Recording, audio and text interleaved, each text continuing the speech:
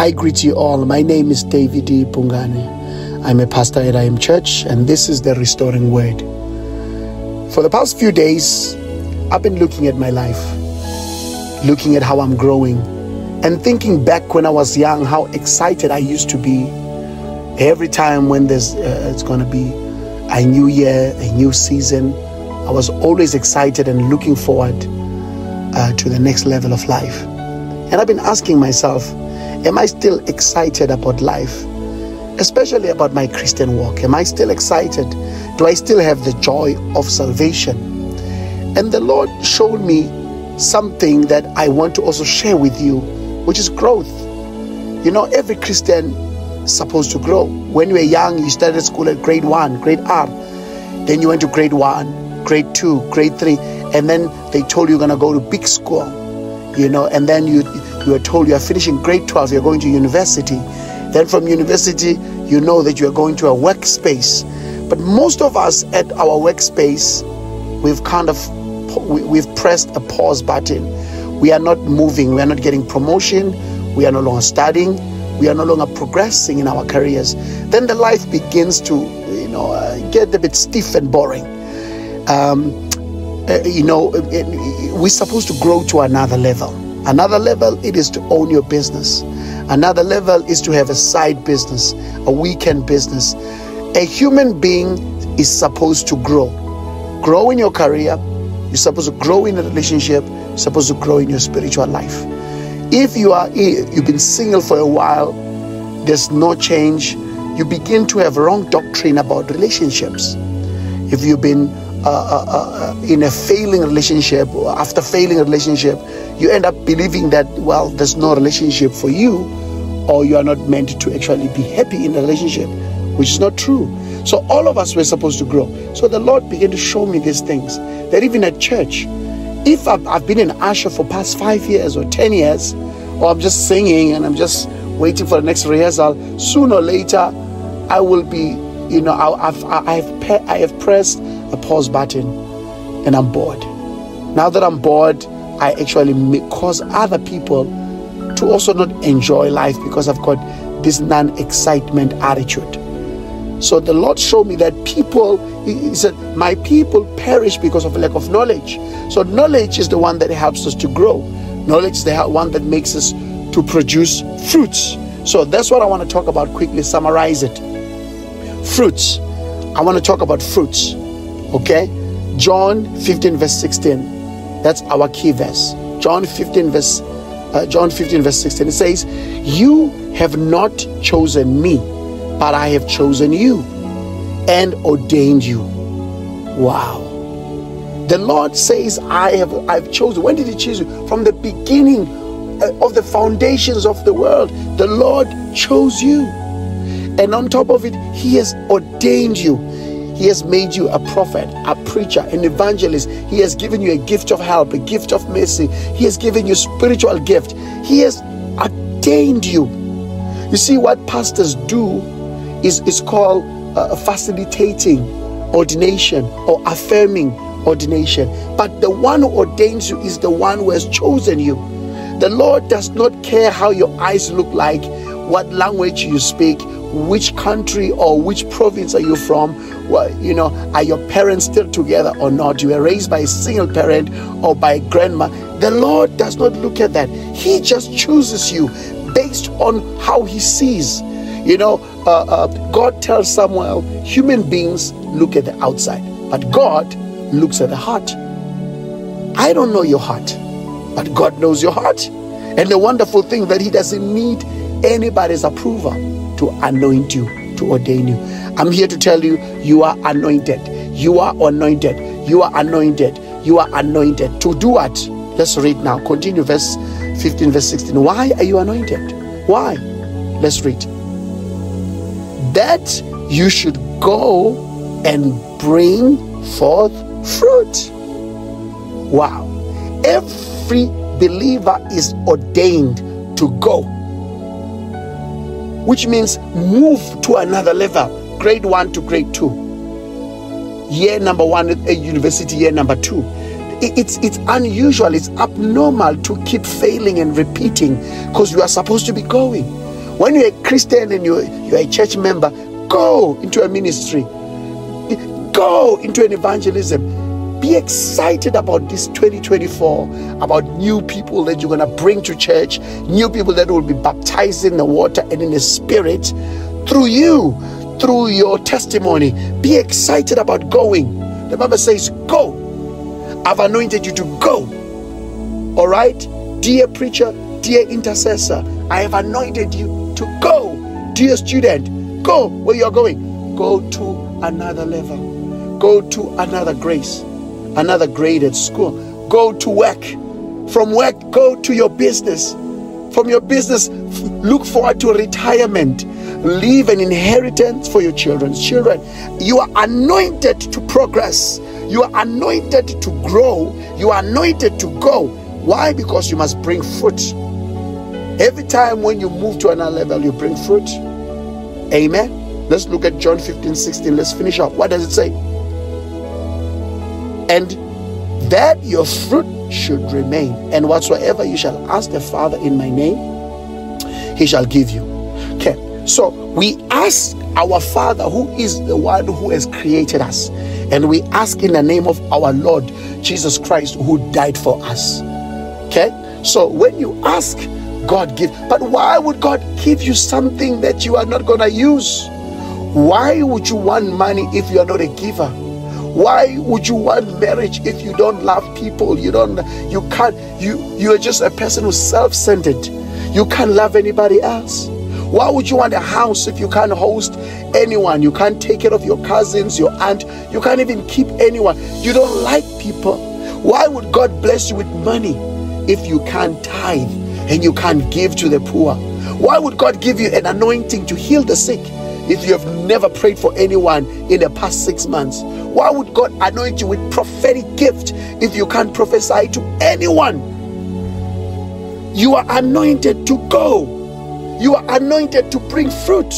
Okay, so I want to close. There are three important fruits. You must never forget this. In life, there are three important fruits. Fruit number one is called fruit of Christ. Number two, fruit of the Spirit. Number three, fruit of men or fruit of a person. Now, fruit of Christ is bringing souls. The Bible says, For God so loved the world that he gave his only beloved Son, so that whoever believe in him. Now that's why. So when Jesus died, he died so that when people believe, fruits they come. So, fruit of Christ are new souls. Never forget that. And how do you win new souls? You win them by sharing your testimony, what Jesus has done for you on social media, in person, wherever you go. Number two, you win people to Christ by inviting them to church. And when the pastor is preaching, the Holy Spirit convicts them and they are born again.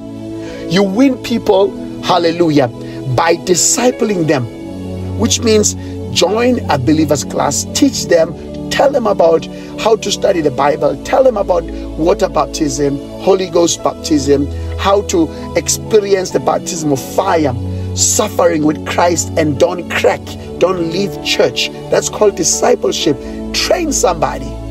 Who have you been training? You've been born again for five years, ten years. How many disciples have you trained? Then the fruit of Christ is, is about training people. And lastly, in terms of the fruit, it's becoming a teacher.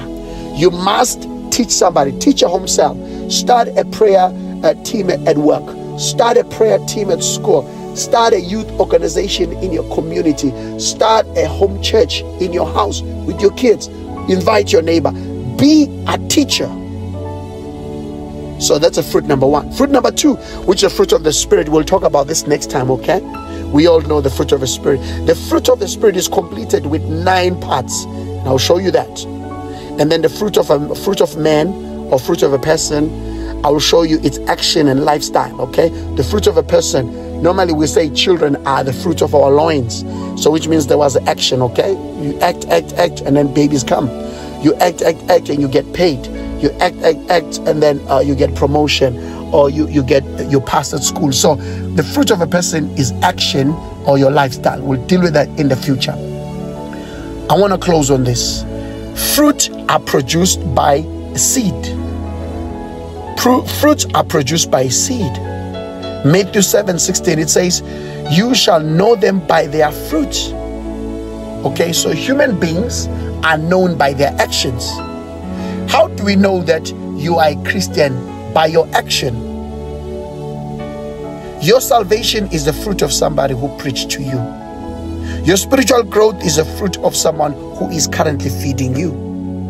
You see, the enemy can't stop people from being saved, but he's fighting everyone from growing because when you grow, you will win others. When you grow, you become the light of the world. When you grow, grow, you become the salt in this earth. When you grow, you become a disciple.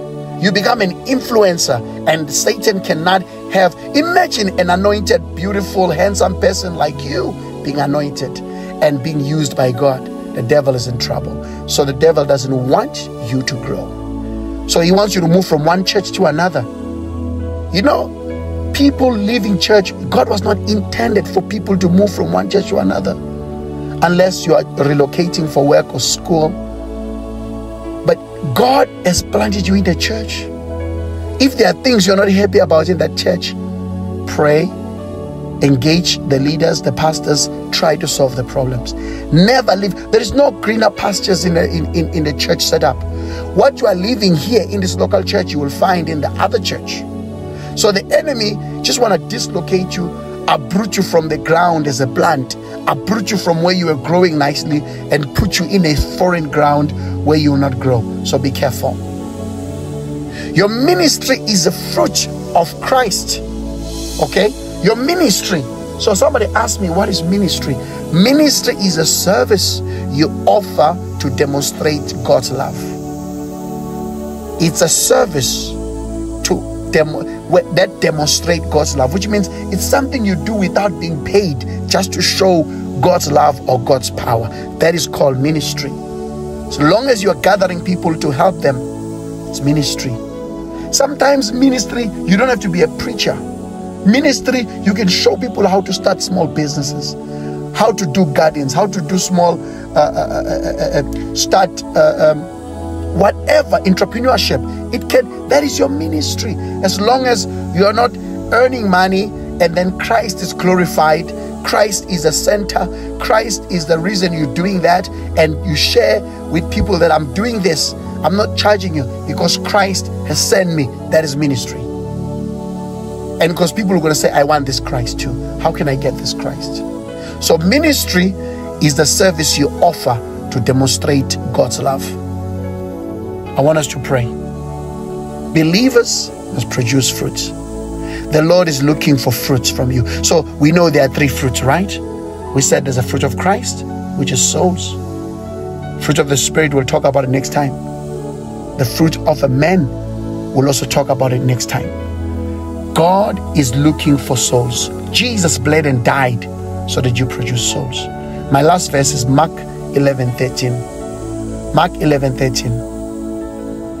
And seeing a fig tree afar, this is Jesus now, having leaves, Jesus, he came happily that he might find something in it. And when he came to it, he found that there was nothing for the time of the fig of the fig tree was not yet. So it means it was not a, a, a, um, a season to produce. And Jesus answered and said to it, Jesus spoke to the tree, No man eat tree, no man eat fruit of this tree thereafter forever. Okay? And then when we jump to verse 20, and a disciple heard it, and in the morning as they passed there, they saw the fig tree dried up from the roots. Okay, so now what is this verse saying? Jesus is looking at you as a tree. You look anointed, you look beautiful, you've got leaves on, you are big, you are tall, you've been born again for 10 years, 5 years, 2 years. And Jesus is coming closer to you to see if there's any fruit of Christ, which is souls. He's coming to see has there anybody who has been born again through your testimony? Have you invited anyone to church this year, 2020 Have you even posted on social media that Jesus loves you? And Jesus comes and he finds that there's not even a single fruit. Remember, the Bible says, Jesus says, I am the vine, you are the branches. Guess what? The fruit, they are attached to a branch. Jesus is not looking for more branches, he's looking for fruit. Fruit of Christ are souls. Fruit of Christ are souls.